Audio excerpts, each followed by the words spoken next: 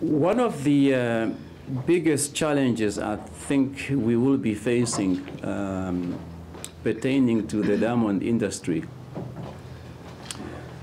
is a challenge that is posed by synthetic diamonds, um, or what they call lab-produced diamonds. Uh, as we know now, there are people who are investing in producing diamonds artificially uh, in the laboratories.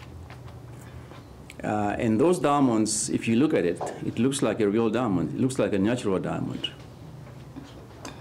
Um, and the challenge with that then, if, of course, is then to say if, if for some reason that synthetic diamonds you know, start to really capture the markets that we as natural diamond producer countries used to sell to, it would then mean that we are going to lose that market.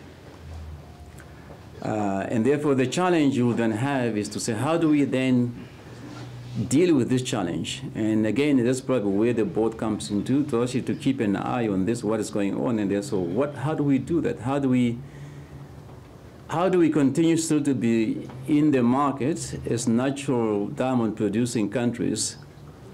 Uh, because one thing is true, we cannot stop those who want to invest in synthetic diamonds. They'll do it. It's a legal product.